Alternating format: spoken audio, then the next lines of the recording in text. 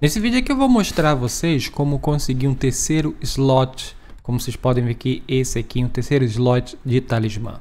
Ou seja, um terceiro espaço para de talismã. Se chama objeto raro 3. Então assim galera, vocês podem ver que eu estou equipando aqui mais um, fiquei com 3 em vez de 2. Aquele ali é bem maneiro, eu já mostrei um vídeo como é que se pega, que é para você farmar mais dinheiro quando você mata os inimigos. É bem legal. Então, basicamente, galera, para vocês conseguirem, vocês precisam chegar aqui nessa vila que é escondida. Entrada do vilarejo, esse é o nome.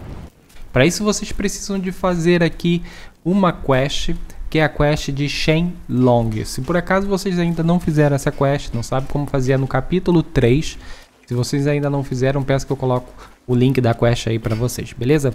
Então, basicamente, vocês vão ter que enfrentar aqui esse carinha, depois que vocês derrotarem ele, vocês vão aqui, dizem que vocês querem enfrentar. Ele é bem difícil, é um dos, dos inimigos mais difíceis que eu já vi em algum jogo.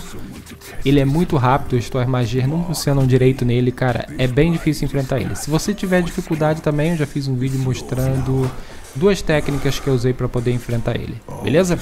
Então, praticamente, quando vocês enfrentar, vocês vão ganhar essa espada aqui, tudo de boa. Vai aparecer aqui um menu dizendo que vocês ganharam um item, que é basicamente ele, que vocês podem utilizar depois como transformação ou como magia, se você preferir.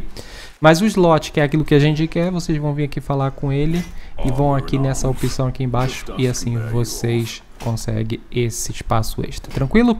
Então é isso aí, pessoal. Espero que esse vídeo aqui tenha sido útil para vocês. Tamo junto, até o próximo. Valeu!